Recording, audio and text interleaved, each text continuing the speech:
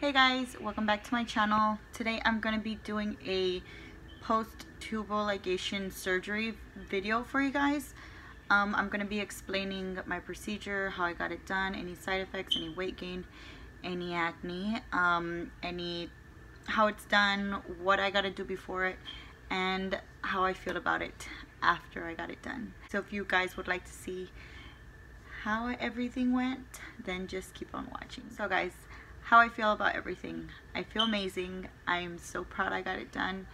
I would not change anything in the world or go back in the past and change my mind. Um, I did get my tubes tied. So how the procedure is done, they gave me special soap. I did paperwork. Um, when I got home, I took my I took my shower. They give you a soap about this size, about travel size, and um, it's a special antibacterial soap so you take a bath at night and you focus it on your stomach and your pelvic bone and then you take another shower in the morning and you do the same thing so you can be super squeaky clean.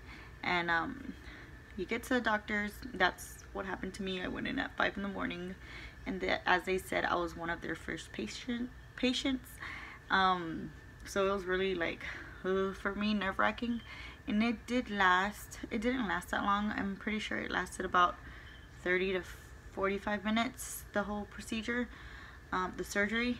And once I got in there I was undressed from head to toe.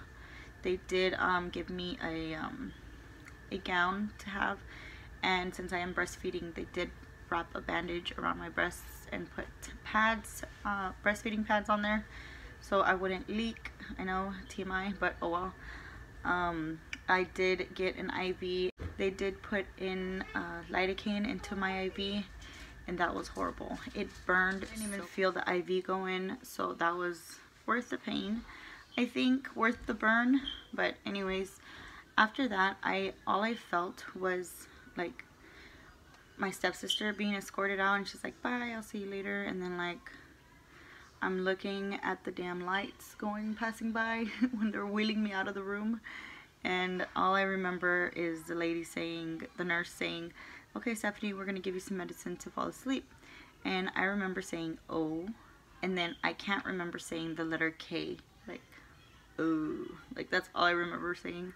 And it was pretty funny because all you feel like under general anesthesia all you feel is like if you just blink and wake up like you don't dream, you don't nothing, you just blink and you're awake. And the nurses are telling you, Stephanie, Stephanie, wake up. You know, you have to wake up to be able to get some pain medication. You know, the anesthesia has to get out of your system or whatever. And it was pretty, pretty intense. Um, I've never been under general anesthesia. This is my first surgery, and it was very, very tough for me because I did not know what I was going to look like down there or anything on my stomach.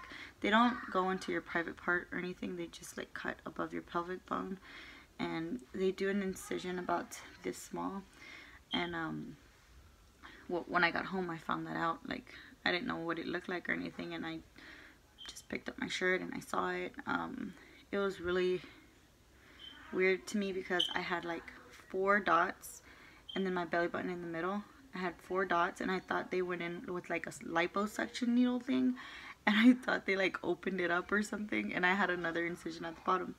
So I thought I was like, oh my god.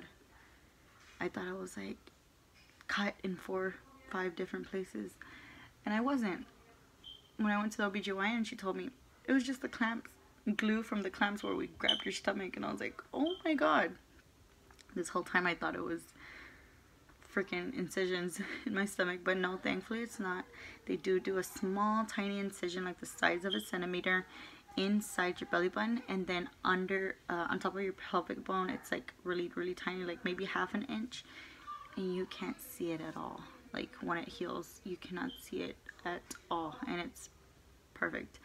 Side effects. They did say I was gonna have like pressure on my chest because they pump gas into you so they can like your stomach expand and they see everything like and it's easier to like do whatever they got to do down there but um I didn't have any side effects nothing my shoulders didn't hurt my back didn't hurt um I took all my pain medications maybe that's why um I was prescribed like this really really good um, ibuprofen. It was it was really good.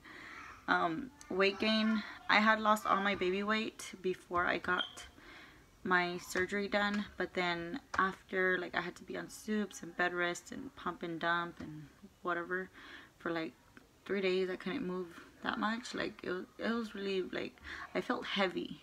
I didn't feel pain. I felt heavy.